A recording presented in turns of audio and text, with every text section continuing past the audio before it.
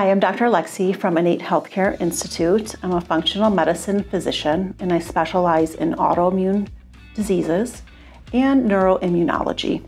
So, today I want to talk a little bit about autoimmune disease, stem cell therapies, and what role stem cells play in overcoming the disease process of autoimmune disorder.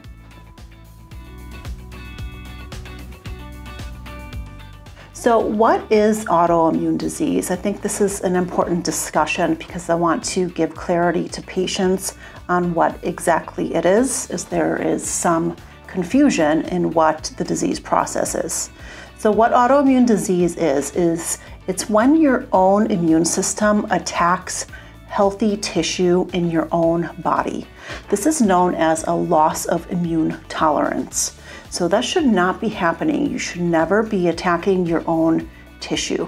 That shows that something has definitely disrupted your immune system and you need to figure that out. Now, it's pretty prevalent. About 2 to 5% of the world has an autoimmune disorder. In the US, that number is 20%. So, about 20% of Americans are suffering from some type of an autoimmune disease and that number keeps growing. There's about 80 plus autoimmune conditions, and some of them you might have heard of uh, MS, rheumatoid arthritis, eczema, Hashimoto's. So, uh, multiple sclerosis is where your immune system is attacking your brain. RA, rheumatoid arthritis, is where your immune system is attacking your joints. Hashimoto's, thyroiditis, hypothyroidism, that is where your immune system is attacking your thyroid. Eczema or psoriasis, that's where your immune system is attacking your skin cells. But irrelevant of what the end organ or tissue is that is being attacked by your immune system, the end process is the same and the disease process is the same for all autoimmune diseases. Okay, so what causes autoimmune disease? This is a question I get a lot, and are there things that do cause autoimmune disease? And the answer is yes. So, autoimmune disease is known as a lifestyle disease or an environmental disease. And some of the things that can cause it is environmental toxins, such as uh, plasticizers like phthalates, uh, BPA, you probably heard of BPA before. Those are xenoestrogens, so they mimic a very strong form of estrogen.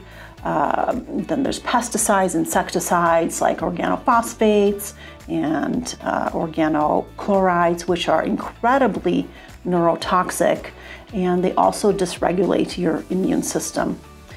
Now, there's also a hormonal aspect. So, if your hormones are imbalanced, uh, for example, your cortisol, your estrogen, progesterone, those are all helping to modulate your immune system. So if those are thrown off, you could have an immune system imbalance as well. And the last thing I want to talk very briefly about that can cause autoimmune diseases is leaky gut syndrome or intestinal permeability. Now this is where the lining of your gut become damaged and it's become permeable and molecules of food, bacteria, bacteria endotoxins known as LPS, lipopolysaccharides. They can get out into your bloodstream and they trigger an immune response, a very strong one.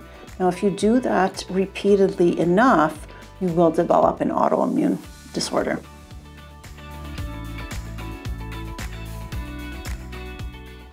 All right, so the other thing I wanted to talk about that I get a lot of questions on is is it possible to re regulate your immune system? And is it possible to cure this disease process? Well, yes and no. So, you're never going to be able to completely get rid of the autoimmune disease process, but you can re regulate the immune response. So, we put that in remission with natural methods.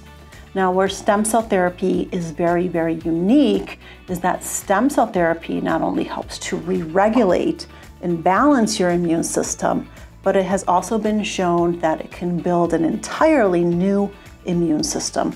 So that makes it very unique in its therapeutic approaches. We don't have anything in our conventional medical model or in alternative complementary medicine medical models that can do this at this time. So it makes stem cell therapy very unique in that regard.